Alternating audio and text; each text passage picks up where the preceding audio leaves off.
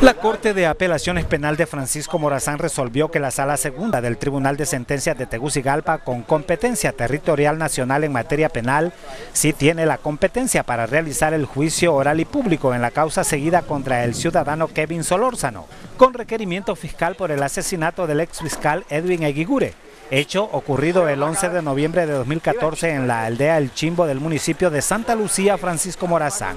El ex fiscal Eguigure fue asesinado frente a su esposa y uno de sus hijos. En tanto, el hasta ahora único imputado por este delito permanece detenido en la Penitenciaría Nacional. La defensora privada del imputado, abogada Celeste Cerrato, expresó su satisfacción porque se confirma la realización de las audiencias de juicio oral y público, para las que dijo estar preparado.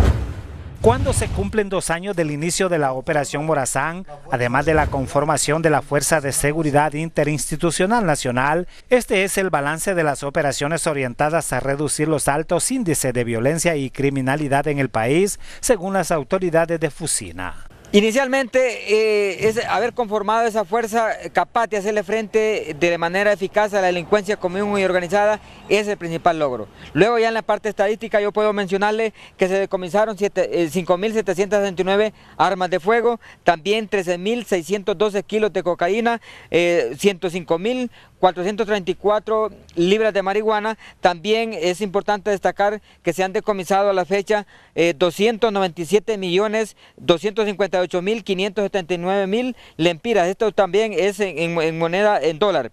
También se han destruido 110 áreas clandestinas de aterrizaje y 88 pasos ilegales en todo el país. Las autoridades de Fusina responsables de la operación Morazán que se lanzó el mismo día de la toma de posesión de la actual administración gubernamental afirman que continúan con el mismo ímpetu con el que iniciaron y ponen a la vista los logros obtenidos. Fiscalía ha interpuesto requerimiento fiscal por el delito de acto de lujuria contra José Garrido, un médico de 60 años, quien ayer fue denunciado por una paciente que asistió a consulta médica al centro de salud donde labora el doctor. Es una joven de 18 años que llegó supuestamente a consulta médica en un centro asistencial público y que supuestamente el doctor, según la, víctima, había tocado partes íntimas de su cuerpo y que además le, manifestó eh, palabras eh, que, lógicamente como insinuando alguna situación anormal. Tras audiencia de declaración de imputado, al médico se le dictó medidas sustitutivas a la prisión, pero comparecerá el próximo mes a audiencia inicial. Un menor de 14 años que respondía al nombre de Raúl Alejandro Reyes fue encontrado sin vida en esta calle de la colonia Montefresco. La víctima a quien le dispararon había desaparecido desde el domingo. Sus parientes le reconocieron horas después de que se ingresara su cuerpo en medicina forense. Lo conocían como Franklin el Zapatero, tenía 67 años y murió por una aparente intoxicación. Las autoridades realizaron el levantamiento del cuerpo en una calle del barrio Medina.